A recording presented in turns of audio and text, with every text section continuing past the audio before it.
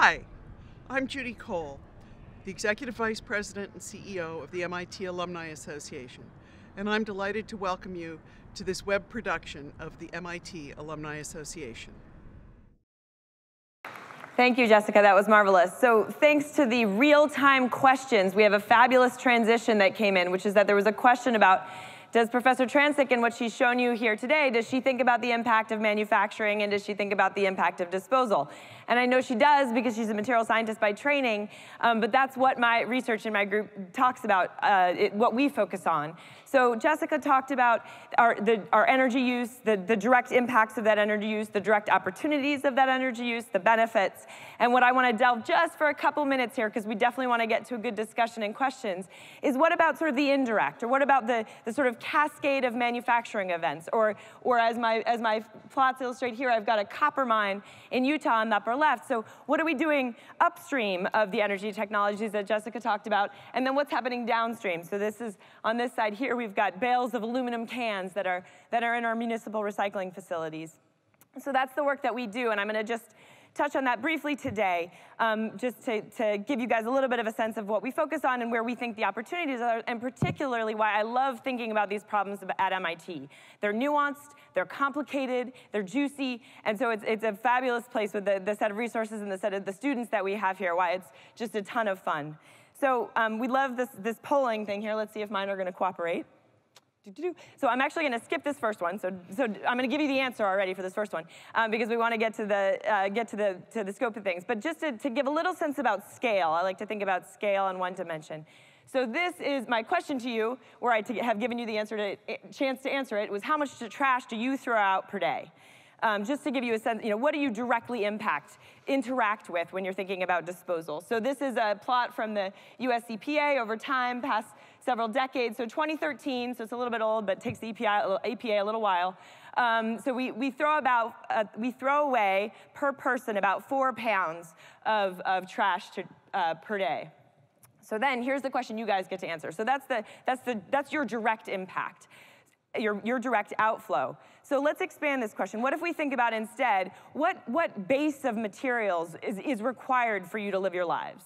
To drive your cars, for you know, the mining that you do, the devices that you carry. So let's think about how much material is roughly associated with your daily life if you consider all these indirect and direct flows, if you can think about that, manufacturing, disposal. So we're talking about inflows now, right? What base of materials is required? In pounds, please. So we've got 100 pounds, got 50, those numbers are pretty cool. So it's, it's, it's weighting them. The bigger number is the most popular vote. That's what we're seeing there. So gonna, we're gonna say that we're getting about 100. Does anybody see 200? I see 200. Anybody see higher? Oh, 50,000 pounds. nice. Per person per day, right? So let's not forget to divide. Okay, so I'm gonna cut to the chase here. So it's about 180 pounds per person per day. So about 40 times what we throw out uh, day to day is, is required, is an inflow to, to support the way we live. And so that's, that's my snapshot of scale. That's why I think this, the, the way of thinking about this problem from a material science perspective is, is important on a scale level. So the other dimension that I just want to give you a little bit of a snapshot of um, is complexity. So uh, Professor Belcher told us this morning we all love to exist in periodic tables, so I do too. Um, so here, so we've got, we've got this tremendous volume on one axis, and then we've got something about the complexity of these flows on the other axis. So my, my two second snapshot of that for you of this is over time tracing the number of elements that, we, that are in a circuit board, so elements of the periodic table that are in a circuit board. Let's think about it associated with a cell phone. So in the 1980s, uh, we had 11 elements, and then in the 90s we added four, and then in the 2000s we're up to 45, and now we can we essentially carry the periodic table in our in our pockets every day, right? and not just because Professor Belcher gave you one as you walked in the door. Um, so, th so those are the two dimensions that I like to think about it. That's my basis of motivation. It's a tremendous volume, and it's really complicated. Um, and I'm going to just give you just a couple of quick stories. I'm going to skip a bit here about how we like to how we like to think about this. So I've got I've got all sorts of periodic tables, but we're going to skip that one. So I like to think so in, in terms of thinking about recycling. So if we if if we have this tremendous volume that we're producing and we need to get rid of, and it's very complicated, what, what do we do about that? So we, we hear a lot about you know recycling as as as beneficial. Um, but, but it's, it's a nuanced, complicated story. So I'm going to tell you a very simple study that we did that was looking at recycling of alkaline batteries. You think about just the primary batteries that you probably interact with and throw out on a regular basis. California a couple years ago passed a landfill ban, so we weren't going to be throwing them in the trash anymore if you're in California or in New York. We needed to recycle them. So we looked at, was it environmentally beneficial given the state of technology and the distribution of that technology in the United States to, to recycle an alkaline battery? Here's an alkaline battery. Its dominant materials are manganese, steel, and, and zinc. There are basically four facilities within the United States that were managing these, managing these batteries because the, the, the battery industry had worked very hard to get mercury out of them. They, they were sort of essentially as close to dirt as you could get. And now we were proposing driving them pretty significant distances around the country to recycle them in these four pretty isolated facilities. And what we learned through this research is, is given the policy as it was put in place and the, and the financial support to, to manage it, given the kind of stuff that Jessika just talked through, it was actually environmentally better, given the state of technology, to throw the batteries in the trash than it was to recycle them. And I, still today, that is largely true. But based on the fact that we did this research, we discovered that really what we needed for batteries, because what we're getting for them is not super valuable compared to things like cobalt, um, or other, you know, nickel, other sort of higher value materials that are available in rechargeable batteries, we needed to have a, a distributed, low cost solution, um, or low energy solution, lower temperature solution.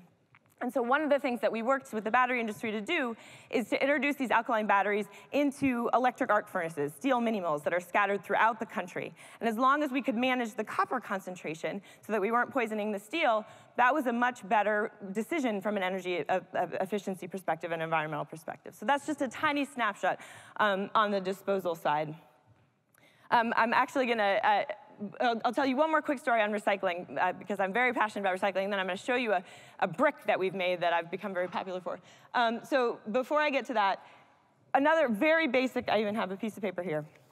Another very basic thing we're always taught, right, is to recycle your, put your paper in the recycling bin, right? We all do that. Um, so there, there's a lot of, we, this is a snapshot of the, of the paper and paperboard industry in the US in, in 2013. And it's complicated, right? We call this the spaghetti chart. So something as simple as paper is incredibly complicated. What you're seeing in these middle, these yellow bars in the middle there are all the different kinds of paper that we interact with, right? There's copy paper, there's toilet paper, there's tissue paper, there's cardboard boxes, and all of the flows of, of recycled material, which you see in blue, and virgin fiber from trees you see in brown, they all need to end up in the right places, in the right concentration, so that they can be re recovered into the kinds of products that we want to interact with. So if we have policy that's requiring certain recovered content um, of, of recovered fiber in paper like this, what that's doing in the US, because we're not matching it with increased recovery of these sorts of products, we're not recycling as much as we should, but we're asking for the recycled fiber to appear in these products, is that means that we're putting fiber that, from trees into things like toilet paper. As you can imagine, is a dispersive media, right? We don't recover a lot of that. And so that, that's putting this sort of strange um, you know, tension and strange uh, challenges for the paper industry and for all of us as we try to increase the overall sort of life cycle, manufacturing, disposal, in addition to the direct energy that, that Jessika talked about, into the material flows that we interact with. So very simple systems I've talked about from a high level, right? A piece of paper, a battery, but because of the complex systems in which these things interact, there's a ton of nuance and, and juicy questions to, to answer here so not only do we like to think about it from a systems perspective um, and from you know, the, the full life cycle perspective, we also like to think about it in technology development. So I'm going to just end on this um, brick that we've developed um, that's based on uh, waste ash. Um, so this is a, a, so taking some of the kinds of, of industrial wastes that would be associated with things like paper production in the US. This is actually a project that's, that's based in India. So not only is, is there you know, opportunity to solve these things from an analytical perspective, there's also technology innovation. So we worked with, a, with an industrial cluster in northern India and recovered the, the ash that they were producing from their paper mills and, and, and based on taking advantage of the chemistry associated with this brick. So it's, an, it's, it's, alkali, it's activated with sodium hydroxide, plus the ash, plus a little bit of clay and a little bit of lime. And we're basically working with this community to replace their red bricks, the typical bricks you think about, that are sintered at 1,000 degrees C with this room temperature cured brick that's made of the ash of the region. So there's tons of opportunity here that we're really excited about. And so this is, you know, we, have been working with this with this town in India to, to make these bricks from their paper production, um, and now build them into into structures of buildings. Um, and so what I want you to think about, as as John is now going to tell you about sort of the the, the global flows of, of materials and energy as we think about um, our urban populations, is think about each of these bricks um, that you know, replacing the red bricks and, the, and concrete blocks that we work with today uh, to try and build the cities of the future.